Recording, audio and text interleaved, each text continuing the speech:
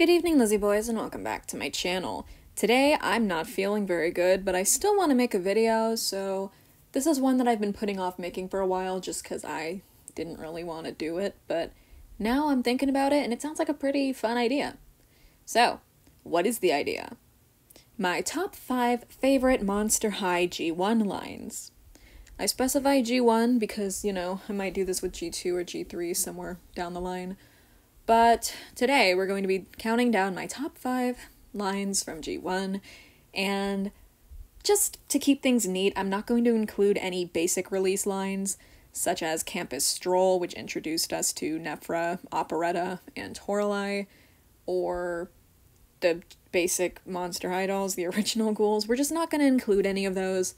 We're strictly going to stick to themed lines, and not so much introductions of new characters, just because I don't feel like that's fair. So, yeah. With that, let us begin. So, last minute, I did decide to make this list a top seven. so, we're actually going to be starting with seventh place. And in seventh place, we have the full Haunted line. I originally debated whether or not I wanted to include the Getting Ghostly dolls, because I did kind of just want to devote it to the new four characters.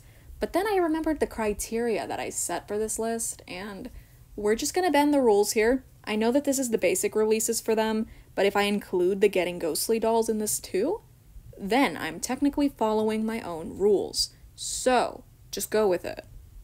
The Haunted line is absolutely stunning, and I'm sorry for how goofy some of these pictures are going to be. Um, I was too lazy to compile the stock photos myself, so I'm just using a couple pictures off of Google, and yeah. Overall, the Haunted line is just so good all of the dolls look amazing in their ghostly forms. All of the characters got a uh, customized skin tone for this doll to make them like partially translucent, and it's the coolest thing in the world. When you put them next to one of their normal dolls where they're not in ghost form, the difference is night and day. They even altered Spectra. They didn't even have to do that because Spectra was already a ghost.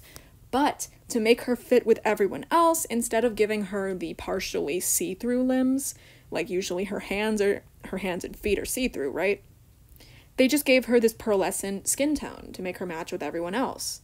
I think that it's cool, all the differences, all the like stops they pulled to make these dolls look different from the way they usually do. They're in ghost form, and the way they look should reflect that. I think one of the only dolls who doesn't look that different from the way they usually do is Twyla. Her skin tone stayed pretty much the same, like, you could swap her arm with any other Twyla and you probably wouldn't be able to tell.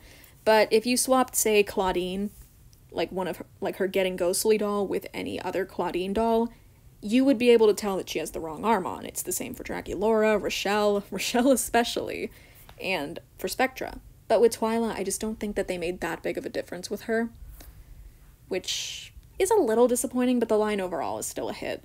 And the four new characters they introduced this is my favorite lineup of like new Monster High characters that they ever made. Vandala, Kiyomi, River. Mm, those three are so good. I even like Porter. Like, I didn't leave him out to be petty or anything. I unironically like Porter. He's a fun character. I would wear his shirt if they made that for humans. They should make that shirt for humans. I would wear the shit out of it. I love buttoned up shirts. Overall, these three, four, these four are just a really good line. Vandala, was one of my grail dolls for a while. And to this day, I still would like to own a second one of her in the box because I've only ever owned one. And it's the one that my aunt got me for Christmas one year, which was the year that she came out. As for Kiyomi, mm, I cannot begin to describe how much I love Kiyomi.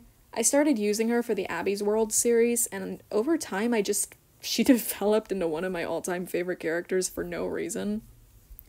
God, her design is so good. Like, the concept of making a Japanese faceless ghost into a monster is so. It's just so cool. They started to get more creative towards the end with the monster types. I know some people say they were like grasping at straws for ideas, but I think that they were getting more creative, honestly. And River, oh my god, we were so robbed in some aspects with River. Because originally she was supposed to have a pixie cut. She was supposed to have like a skull inside of her head that you could see. And she was supposed to have like this bird that had its skeleton visible on the inside, too. But the final doll did still turn out really cool. River was one of my favorites for a while. She's just so cute. Making the daughter of the Grim Reaper look so colorful and cutesy was such a good idea. And as I mentioned, Porter's pretty cool. He's got big fluffy hair. I would wear his shirt. And yeah, overall, the Haunted Line's a hit. I love every single doll from it, so had to include it, so they're in seventh place. Up next, in sixth place, which I did want to put this line higher, but ugh, it feels like a crime to put this line this low, but I really can't fit it anywhere else, is the I Heart Fashion line. These dolls were so good. Oh my god. Every single one of these dolls was on my wish list at some point, and I'm lucky enough to own them all now. This line, I don't know why it started, but as it continued, it became an excuse to introduce the San Diego Comic Con exclusive ghouls to store shelves. Starting with with um I almost called her Spectra, with Scarah. Scarah's I Heart Fashion doll was so well done. Frankie, Abbey, Clawdeen, those three were still done amazingly as well. And every doll in this line I've tried to get new in box just because I want to have all of their pieces. Most of the time when I buy a Monster High doll secondhand, I don't care if they're like fully complete or not as long as they have all their outfit pieces and all their jewelry pieces. That's the primary thing I concern myself with. But with these dolls, I actually want to make sure I'm getting everything, down to the littlest bracelet. With other lines, I don't find myself caring that much, but with I Heart Fashion, I absolutely do. My favorite dolls from the line overall are probably Abbey, Clawdeen, Cleo, and Wydowna. Yeah, definitely Wydowna. I waited so long for Wydowna to finally drop in stores, and when she did, my mom's friend who knew I was a big collector ended up buying her for me to give for her, my mom to give to me. It was so sweet. I was so moved by his act of kindness. This Wydowna was seriously one of my favorite dolls of all time, and she still is. I still absolutely adore her. Iris was another one I waited a long time for because I was a very big Iris fan. Venus, oh my god. They did such an amazing job with Venus. Like, honestly, if she wins the Fang vote, I don't think the collector doll they're going to give her is going to outshine this release. I honest to God don't. This doll is just too good. She's got a checkerboard print going on her side shave. She has black rooted under her hair. It's so good. They played into the goth, grungy look so well. And then, of course, we've got Wisp. While she was, unfortunately, the most underwhelming, in my opinion, I do still honestly really love this doll. They did a great job with her design, and I love her a lot. And finally, we get to Cleo. Oh, this Cleo is so, so pretty. I finally did manage to get her after a few years, but mine is extremely incomplete. I only have the doll and her bodysuit. I was missing one of her hands as well, so I had to replace her hand. But regardless, I'm grateful to have the doll at all. Uh, I ended up getting her in a trade with someone, and that's one of the best trades I ever made. So, in short, the I Heart fashion line is nothing short of iconic, and every single doll released under the name just outdid themselves.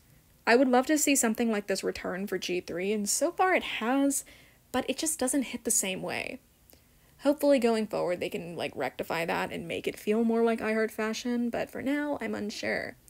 Regardless, putting this line in sixth place feels criminal, but it's the only place I could fit it. Starting us off in fifth place, we have the Power Ghouls line. All of the dolls in this line just they did it for me. I wasn't even big into superheroes when this line came out. I was like a little kid. I didn't really care about Marvel or DC or any superheroes for that matter. Quirky, I know, but I did become a nerd and get into superheroes when I was older, so maybe that made me love this line a bit more. But when I was younger, this line really drew me in. And this was actually my first Toralei, so maybe this line just holds a very special place in my heart for that reason. But I just really love what they did with the characters here, and it was so much fun. The little comic books all of them came with were such a fun read. And of course, the line isn't complete without talking about Wydowna and Ghoulia as Miss Steadfast, which were both Comic Con exclusives, but you don't have a full set without them. I love all six dolls in this line. And even the packaging was strong. Like, Toralei's package was so good that for years I had held onto it.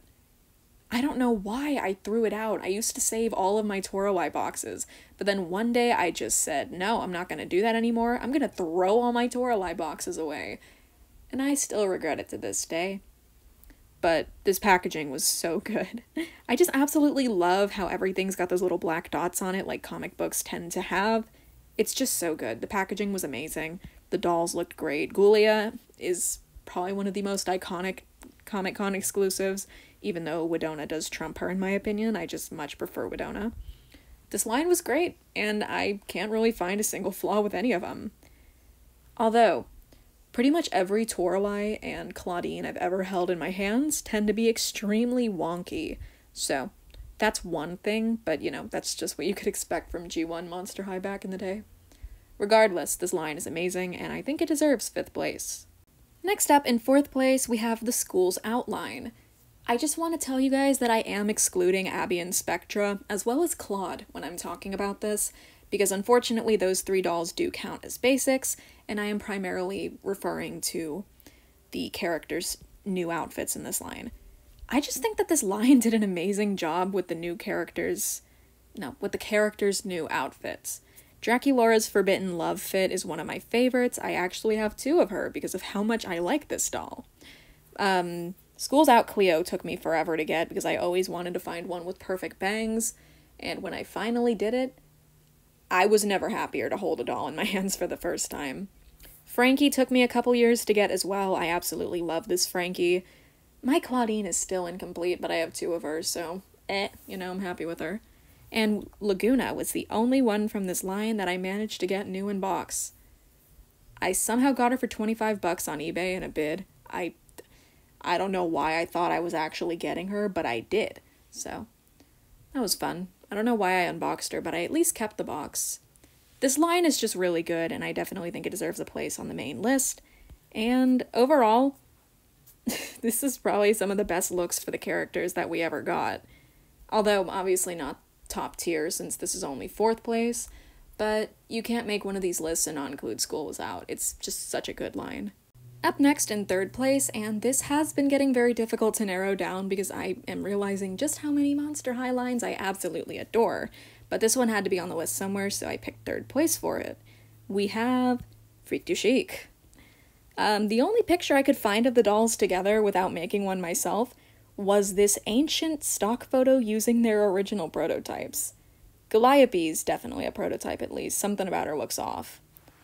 So, this line was really cool at the time, and it's one of the few that I actually rushed to buy all the dolls while they were still in stores. Although, I didn't get all of them while they were still in stores because for some reason, it took me a. No, I got her at the store. I got Twyla at the store as well. It was Clawdeen. I didn't get her in stores for some reason. I just need to tell you guys how dumb I am real quick. I found her in stores on sale for seven bucks. And you know what my stupid ass did? I didn't buy her because there was a little black speck on her nose. What's wrong with me? Child me needs to needed to be slapped, honestly. I did some stupid decisions while I was at the stores. But I did end up getting this Clawdeen later down the line. She just cost me $33 more than I was hoping to pay. By that I mean I should have gotten her for 7 bucks back then. Anyway, the Freak du Chic line is honestly amazing. I actually keep one of them in my room. Honey has stayed in my room since I got her. I don't know why. She just hangs out in here. You can see her right now. Let me pick up my camera. She just hangs out in my bedroom. I, I don't know why she's here, but I'm not opposed to it. Did you know Honey Swamp and I share a birthday? So overall, this line is just amazing. I even like Gooliope, and I usually don't like big, huge dolls like her, but they just did so many cool things with her, such as putting a little horse from a carousel on the heels of her shoes. Monster High shoes were so good. Frankie still has one of my favorite sh- pairs of shoes. Actually, no, Clawdeen. I mixed up their boots. Clawdeen has the really cool boots.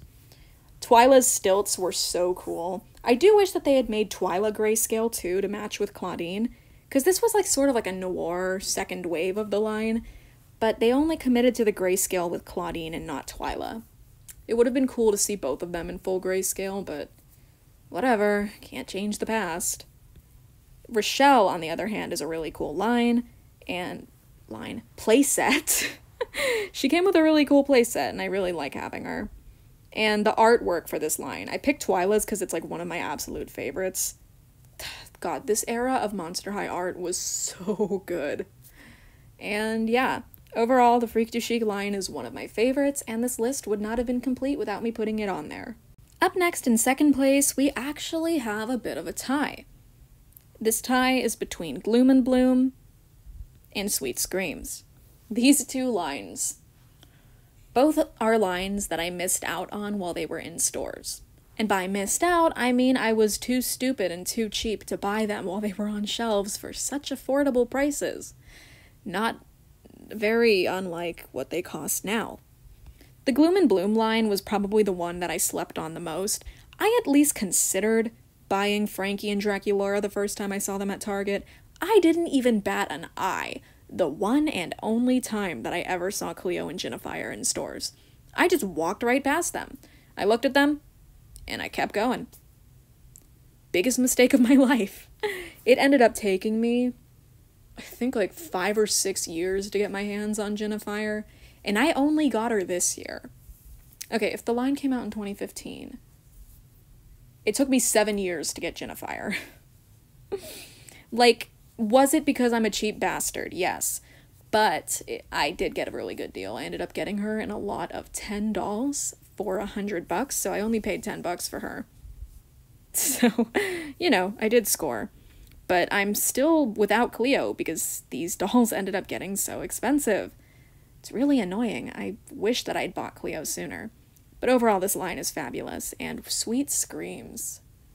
I'm very glad that I ended up prioritizing this line on my list and getting them while I still could.